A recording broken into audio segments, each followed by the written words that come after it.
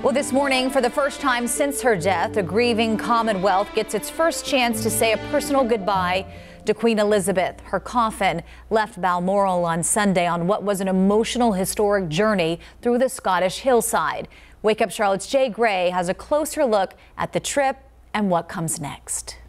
Sarah, good morning. And tens of thousands line the path as Queen Elizabeth's coffin left her summer estate. The procession at times slowing to a walking pace, giving those along the way a chance to say thank you and one final goodbye. Queen Elizabeth leaves her beloved Balmoral for the last time. The Scottish standard draped across her black oak coffin, topped with a wreath of fresh cut plants and flowers, her favorites from her cherished summer estate. Her son, now King Charles III, calls this winding trip through the Scottish Highlands her last great journey. Framed by tens of thousands, in some areas 15 deep, with flags and flowers drawn to roadsides in towns and villages along the way. Just important to say goodbye. Um, she's been on the throne for a long time. So, yeah.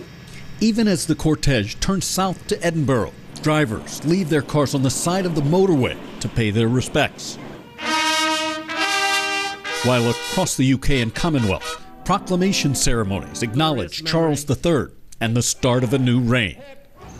King, head of the Commonwealth, defender of the faith, to whom we do acknowledge all faith and obedience with humble affection but right now, affection here is reserved for their queen. She's been that rock, that stability from through the world wars, through the Cold Wars, through COVID. She was our constant. More than 70 years of dedication and service to a grateful and grieving nation. After lying at rest overnight in her Scottish residence, the palace at Holyrood House, giving the staff there a chance to say their private goodbyes, today's 24 hour public vigil will be at St. Giles Cathedral. In London, Jay Gray, Wake Up Charlotte.